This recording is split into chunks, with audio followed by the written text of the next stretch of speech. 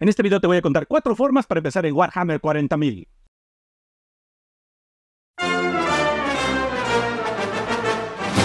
La décima edición de Warhammer 40.000 ya está aquí. Si estás viendo este video, probablemente nunca antes te has acercado al juego, pero te llamó la atención porque has visto algo entre los videojuegos, los creadores de contenidos que están subiendo lore o alguna de estas hermosas miniaturas que hay en las tiendas de juego. Pues bien, en este video te voy a dar una serie de consejos para empezar a jugar Warhammer 40.000 y sobre todo para que no hagas una inversión enorme. Bueno, no tan grande. Pero por otro lado, si a lo mejor tú ya fuiste jugador de Warhammer 40.000, te acercaste en una edición previa, pero luego ya no quisiste, eh, quédate de todas maneras porque en esta nueva edición, la décima que acaba de salir, se incorporan varios cambios que pueden resultarte interesantes. Así que vámonos con los consejos. 1. La caja de Leviatán. Aunque no seas parte de la comunidad de Warhammer 40.000, muy posiblemente hayas visto alguna publicación acerca de esta caja, ya sea memes o conocidos que se la compraron, o todo el alboroto que hubo alrededor de conseguir esta caja, porque salió el mes pasado y realmente fue mucho escándalo en nuestra comunidad. De hecho, yo hice el unboxing cuando llegó la mía, puedes checarlo aquí en este enlace. Si te dio curiosidad, a lo mejor si te quisiste acercar al juego a través de esto, es probable que hayas notado que se agotó en muchos lugares y que las pocas que ya podrían quedar por ahí disponibles estaban a precios que podrían ser demasiado altos para alguien que no conoce Warhammer 40.000 y decidiste que mejor pues ya no le entro al juego porque ya no alcancé la caja esta nueva de los Warhammers, ¿no? Pero no, no hay nada más lejos de la verdad. La caja de Leviatán no es una caja de inicio, es la caja conmemorativa del lanzamiento de la décima edición de Warhammer 40.000. Esto generalmente lo hacen cada vez que hay un cambio de edición. Por ejemplo, esta caja que tengo aquí, que es la Indomitus, fue la caja conmemorativa de la salida de novena. Y estas cajas son limitadas. ¿Esto qué implica? Pues bueno, las hace atractivas, sobre todo para los que ya somos jugadores, porque pues a final de cuentas son un coleccionable, pero no, espérate, no insistas en buscar una para luego volverte millonario, no valen una fortuna en la reventa, porque casi todo lo que viene aquí es posible conseguirlo posteriormente en otras presentaciones, en otros productos, pero eso lo mencionaremos más adelante. Otro de los grandes atractivos que tiene para los jugadores una caja como esta o como Leviatán es que salen antes que las cajas regulares de inicio de la edición. Así que desde luego para todos los que ya estamos aquí y somos desesperaditos, pues queremos las cosas ya. Entonces la caja Leviatán sale el mes pasado, las cajas de inicio al momento que estoy grabando esto todavía no salen, pues obviamente todos íbamos a querer una. En términos del contenido, la caja Leviatán incluye 72 miniaturas, 25 de los cuales son de Space Marines y 47 de Tiránidos. Tiene el reglamento de edición especial de la caja Leviatán. Tiene un mazo de misiones de Chapter Pro y tiene la hoja de transfer, las calcomanías que son para las minis, ¿no? Como pudiste ver en ese listado no hay ningún accesorio de juego como dados, regletas, tableros, etc. Esto es porque, insisto, Leviatán no es una caja de inicio, es una caja de colección. Por supuesto, es una edición muy bonita y viene con unas miniaturas que no van a estar en las otras cajas de inicio y ahorita lo verás, pero esta no es la única opción para empezar en la décima edición de Warhammer 40.000. 2. Las cajas de inicio. En cada edición de Warhammer 40.000 se ponen a la venta cajas de inicio o starter sets. En la edición pasada, probablemente si te interesó acercarte, pudiste ver la caja recluta, la caja elite y la caja de mando, Ahora en esta edición, igual hay tres tamaños de caja que incluyen miniaturas de las dos facciones que son las protagonistas del juego, pero esta sí con algunos accesorios. Entonces te decía, en esta edición vas a encontrar ahora cajas de Space Marines y Tiránidos, en comparación con las pasadas que eran de Space Marines y Necrones. Así pues hay tres cajas de inicio disponibles y que en esta ocasión les pusieron nombres un poco más claros que en las pasadas, que nos apuntan hacia el contenido de la caja. Tenemos la caja introductoria, la caja de inicio o starter set y la máxima caja de inicio o ultimate, que me gusta más el término así porque no encuentro una forma más breve de decirlo en español, ustedes me disculparán. Pero bueno, ¿qué tiene la caja de introducción? Esta es muy interesante porque si alguien de ustedes vio la edición anterior, eh, la caja recluta solo traía miniaturas y algunas chacharitas, pero también podías conseguir unas pequeñas cajitas que venían con unas cuantas minis y pinturas y un pincel y demás herramientas, ¿sí? Ahora eso al parecer lo van a manejar todo junto en una sola caja y entonces esta caja introductoria tiene herramientas del hobby para comenzar a pintar y hacer este, cosas y este, además pues bueno, tiene unas cuantas minis para poder jugar más o menos, ¿no? Que son 5 marines del Infernus Squad y 10 termagantes de los tiránidos, así como un Reaper Swarm, que son unos tiraniditos en una peana, ¿no?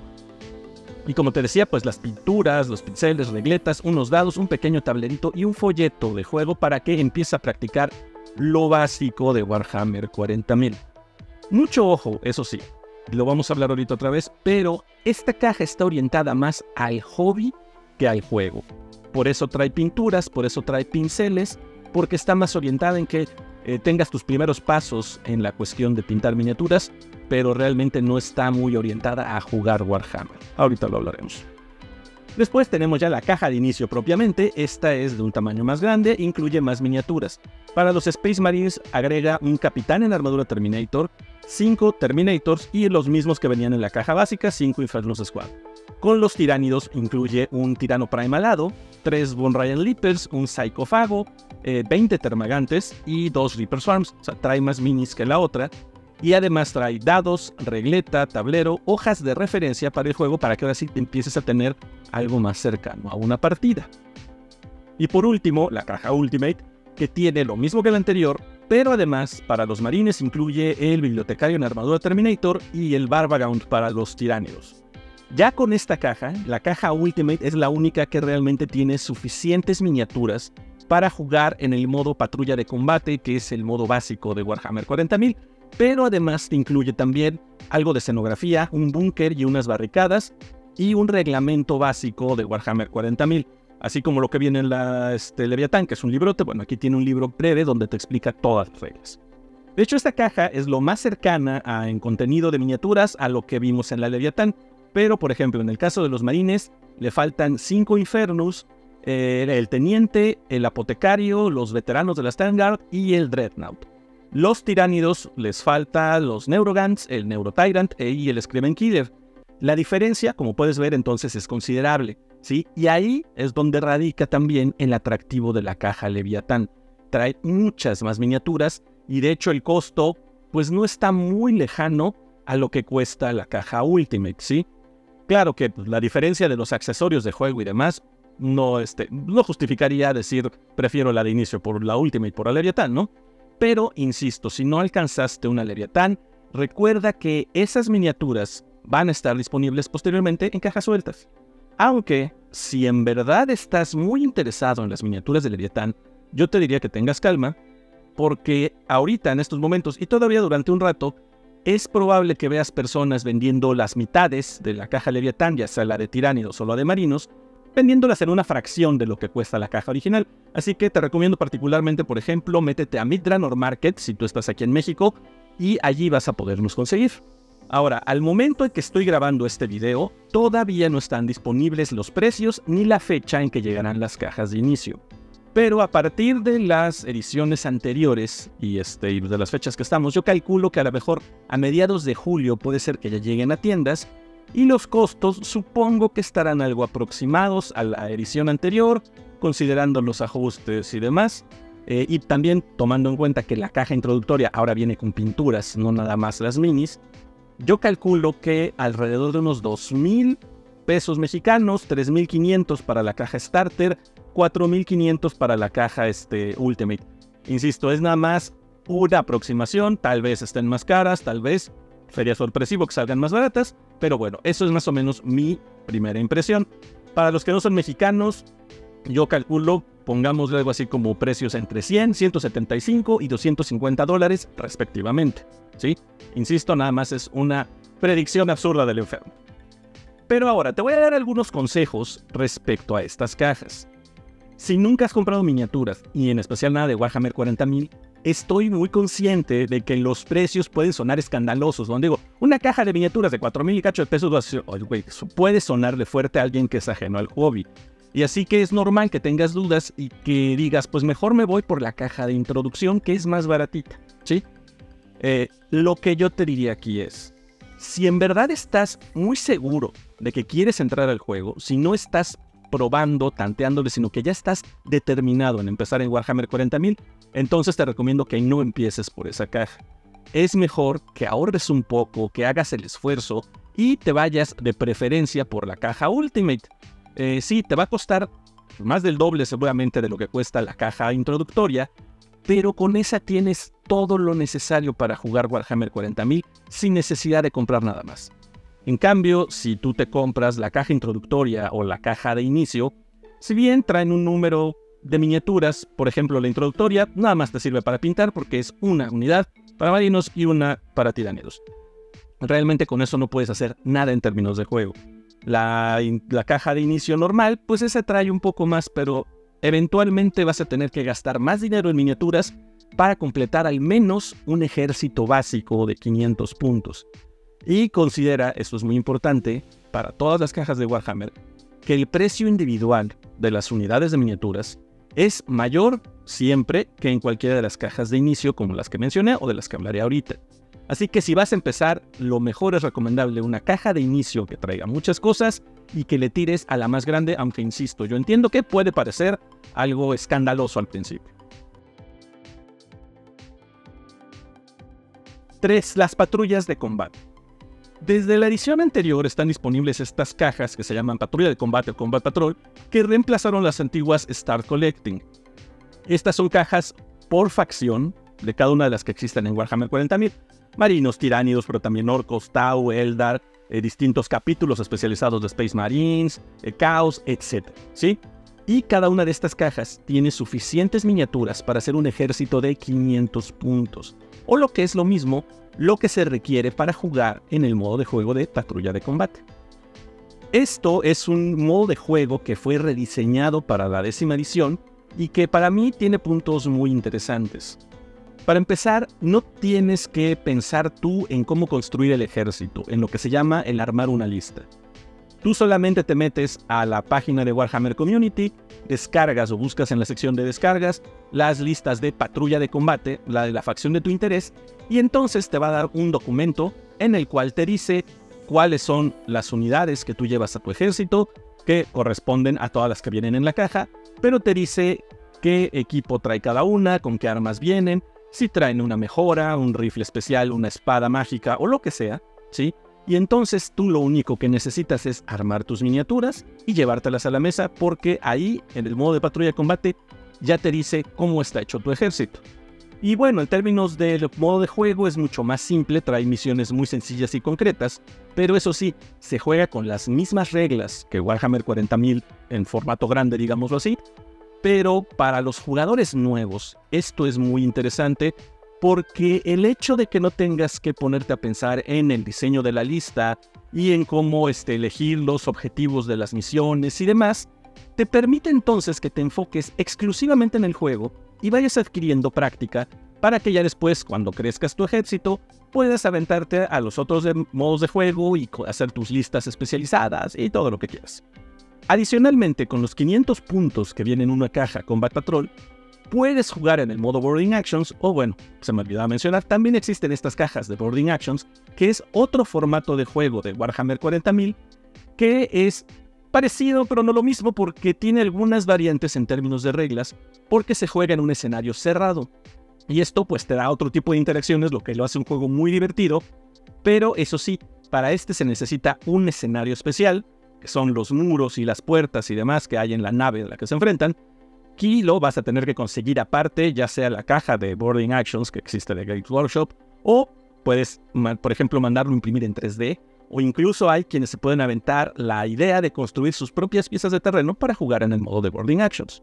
Podría decirse que estas cajas, las Combat Patrol, son la mejor forma de empezar en Warhammer 40.000, y en la mayoría de los casos yo estoy de acuerdo, pero quédate al final del video porque te diré algunas consideraciones que tengo al respecto. Y 4. Armar tu propio ejército. Esta siempre es una opción para iniciar en Warhammer 40.000. Construir tu ejército a partir de conseguir cada una de las unidades por separado que tú quieras utilizar, tanto porque te guste cómo se ven las minis, o porque a lo mejor ya tienes una idea cercana de la estrategia que quieres usar con una determinada facción. Y entonces, pues bien, para hacer tu ejército puedes comprar cada una de las cajas de unidades por separado, o por supuesto tienes la opción de conseguir las miniaturas de otra forma, por ejemplo, minis de segunda mano, ya sean nuevas o pintadas, e incluso complementarlo con impresiones 3D, por ejemplo. También te puedes encontrar en algunos casos personas que ponen a la venta colecciones completas de minis, que dice yo vendo todo este ejército por X cantidad de pesos, Así que incluso te puedes hacer de un ejército completo en una sola compra. Y generalmente pues le ahorras algo de dinero, ¿no? Entrar en Warhammer 40.000 de esta manera puede ser una experiencia interesante, pero hay varios aspectos a considerar.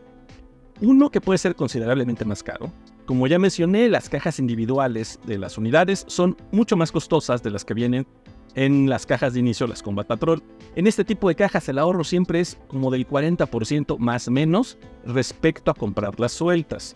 Además, otro aspecto muy importante es que sepas bien qué es lo que vas a comprar. Al momento de jugar Warhammer 40.000, tú por ejemplo te puedes poner de acuerdo con un amigo y jugar una partida abierta donde cada quien llena la mesa con todas las miniaturas de su colección y se divierten y se ríen demasiado. Eso está bien. Pero para jugar en un modo normal, un modo estándar, ¿sí?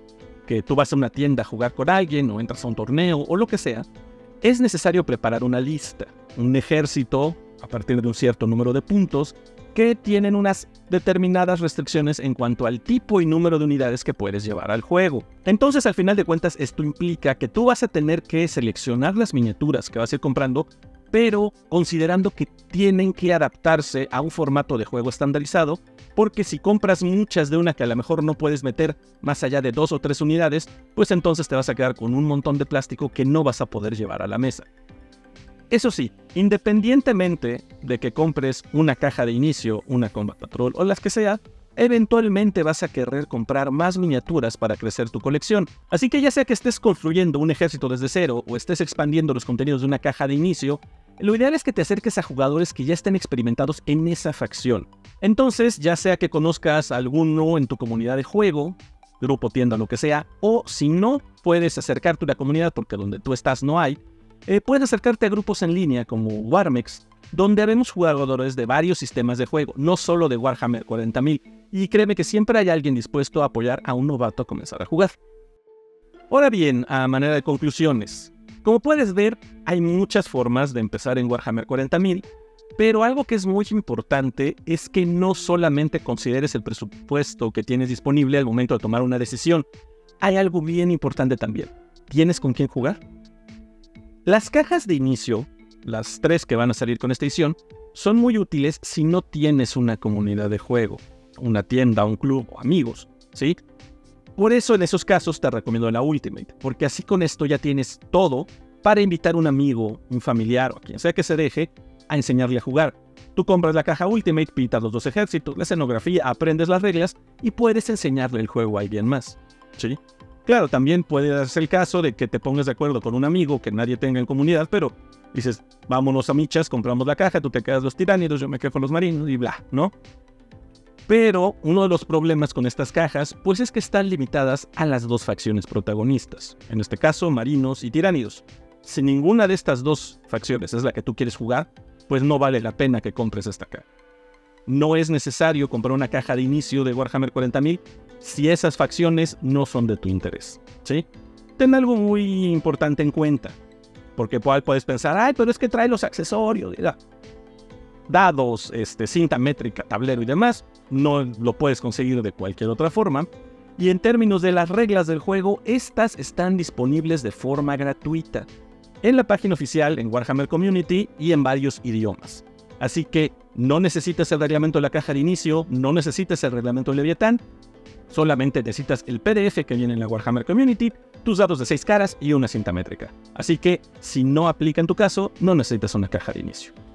Y bueno, si ya tienes en mente un ejército, una facción, pues definitivamente comprarte la Combat Patrol es la decisión adecuada. Además, ten en cuenta que estas son más baratas que las cajas de inicio Ultimate, así que incluso si quieres hacer Tiránidos o Space Marines, es mejor comprarte la Combat Patrol a comprarte una caja de inicio si tú solamente quieres una facción. Pero ahora aquí, de nuevo el punto anterior, si tú no tienes con quién jugar, pues no te conviene comprar un ejército solo para ti. Porque si no conoces a nadie, pues no vas a poder hacer nada con esas minis. Es muy difícil, realmente, que puedas convencer a un amigo de comprarse todo un ejército de Warhammer 40.000, además de aventarse el proceso de construir las minis y aprender el juego, si no ha probado antes. Y si solamente tienes tú tu propio ejército, pues la posibilidad de que le puedas enseñar a jugar va a ser mucho más limitada. Pero bueno, sin importar la forma que elijas para entrar a Warhammer 40.000, si llegaste hasta aquí es porque seguramente ya estás decidido a entrar al juego, así que te doy la bienvenida porque ya eres uno más de nosotros. Estás contagiado con la fiebre del plástico y la única manera de controlar esta enfermedad es comprando más miniaturas y compartiendo el hobby con otros. Así que asegúrate de suscribirte aquí al canal, activa las notificaciones porque cada semana realizo transmisiones lunes y miércoles a las 8 de la noche la hora de México y allí podemos seguir la conversación, resolver dudas acerca del juego y del hobby y por supuesto divertirnos mucho en el proceso. Y claro, si conoces a alguien que esté interesado en entrar a Warhammer 40.000, compártelo este video para que podamos ayudarlo en el proceso. Gracias por acompañarme y nos vemos la próxima.